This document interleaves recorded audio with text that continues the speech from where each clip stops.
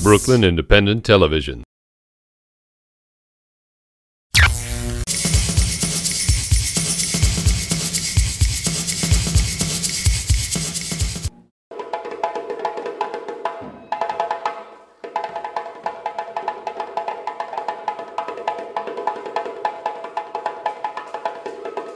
Everything that we do has a lot to do with Marcus Garvey's statement about uh, a people without knowledge of their history, origins, and culture It's like a tree without roots.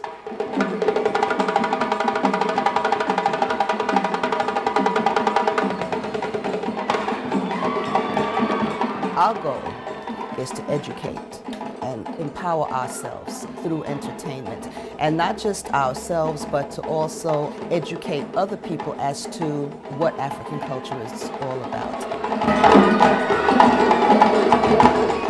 We do performances in schools, performances in theaters. We perform at churches. We perform at weddings, at funerals, block parties, anywhere that we're able to perform and educate. It starts out with research. It starts out with research, whether it be traveling to Africa or bringing artists who are versed in the traditional arts to us. Our goal is to perpetuate the traditional culture, so therefore, everything that we do, I try to be as original and as authentic as possible. My name is Mohamed Gisse and I'm from Senegal. When I was uh, in Senegal, I was in a company called uh, Mandinke which is the second largest company besides the national company. I've been in KowTeff for about eight years. And the pieces might be different, but the style is pretty much the same. Sewaa and I commend her. Uh, it's, it's, she's a blessing to find to find the time and energy to go back and look for this information so that she can bring it back and we can we can learn it and then we can disseminate it.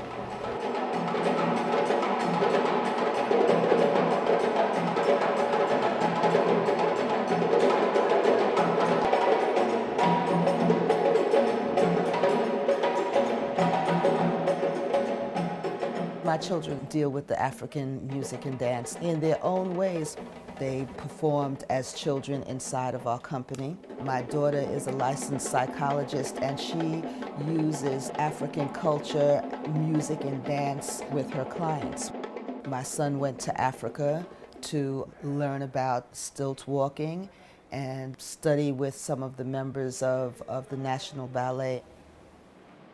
Brooklyn Jumbies are a community-based program that deal in taking young adults, kids, and teaching them adult dancing. We work with KowTeff.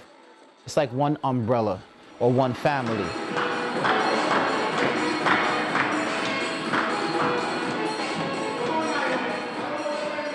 My son is my musical director. He deals with the rhythms. He teaches it to the musicians, although many of the musicians are seasoned themselves. We put our time, energy in our drums and in all the instruments that we use. So what happens is that you become self-sufficient and independent so you don't have to depend on anybody. A lot of people don't understand. They just see the finished product and they hear it, but they don't know what goes into it.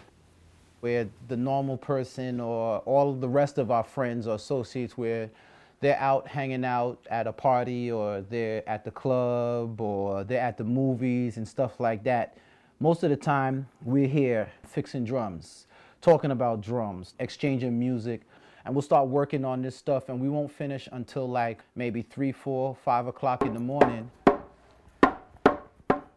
And then those of us that have jobs actually will go straight, you know, we'll just bathe and then go straight to go straight to work from there. We live, drink, and eat this stuff. Like, we love it. When you can actually fix something or build something, and the sound that comes out, and when people actually hear it, you know, and it, you like, I did that.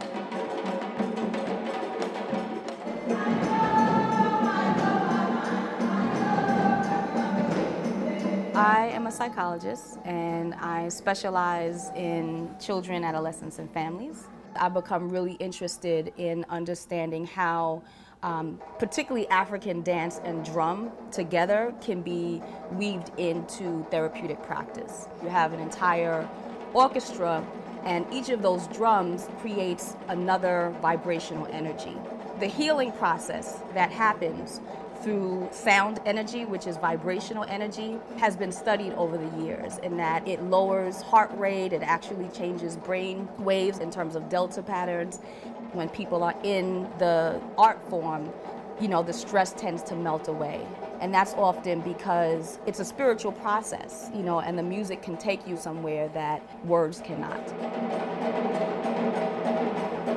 KowTeff means coming from above or a gift. And our gift is the fact that we are able to pass down the traditions from one generation to the next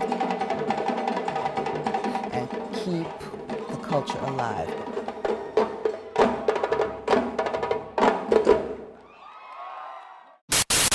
Watch this and other Brooklyn Independent Television episodes online at bricartsmedia.org slash BIT.